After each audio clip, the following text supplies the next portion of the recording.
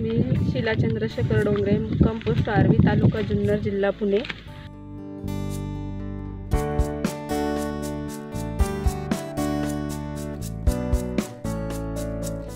आम्ही दरवर्षी रोप टाकून कांद्याची लागवड करीत असतो. यावर्षी आम्ही पेर कांद्याकडे वळलं पेर कांद्याकडे वळले आहे. पेर कांद्यामध्ये आम्ही दीड एकरमध्ये पेर कांदा पेरला आहे. त्याच्यामध्ये दीड एकरमध्ये साडेतीन किलो बी पेरले आहे आम्ही.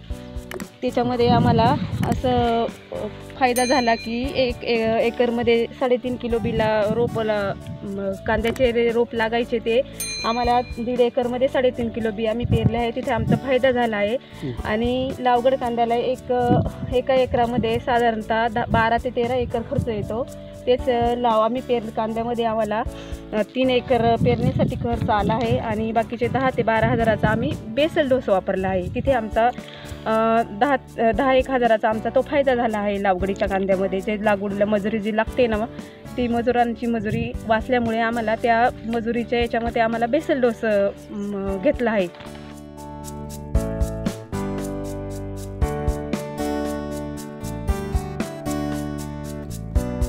बेसल डोसमध्ये बायोसल बायो फर्टिलायझर सल्फर आहे. त्याच्यानंतर हो क्रिस्टल आहे. वेस्टल आहे. बारा बत्तीस सोळा आहे. आणि बायो पोटॅशियम आहे. त्याच्यानंतर मायको न्यूट्रिशन किमान आम्ही अठ्ठावीस किलो घेतले आहे. हे सगळं मिक्स करताय का? हो हे सगळं मिक्स कर करून मग ते पाण्याच्या पुढे पांगवायचं शेत याच्यामध्ये. पेरणी होऊन किती दिवस झाले? पेरणी होऊन पाच ते सहा दिवस झालेले.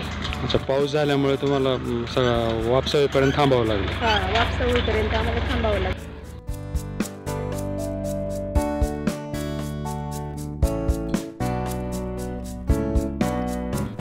याला खुरपणी वगैरे काय करावी लागते का नंतर का कसं काय? बी पेरल्यानंतर पाणी भरायच्या टायमाला पुढे गो आम्ही अ, तणनाशक म्हणून गोल फवारणार आहोत. आणि त्याच्यानंतर एकवीस दिवसांनी गोल आणि टार्गा सुपर आणि त्याच्यात झिंक हे म्हण झिंक अ, हे आम्ही न एकवीस दिवसांनी फवारणार आहे. त्यामुळे काय होईल? तणांचा म्हणजे तण नाही नाईट होईल. हा, म्हणजे खुरपणी करावं लागणार नाही तुम्हाला? नाही.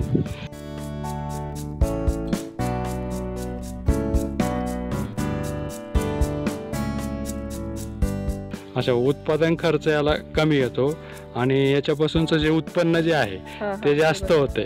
आणि उत्पन्न जास्त होते म्हणजे ॲव्हरेजली तुम्हाला नेहमीच्या लागवडीमध्ये तीनशे पिशवी मिळतात.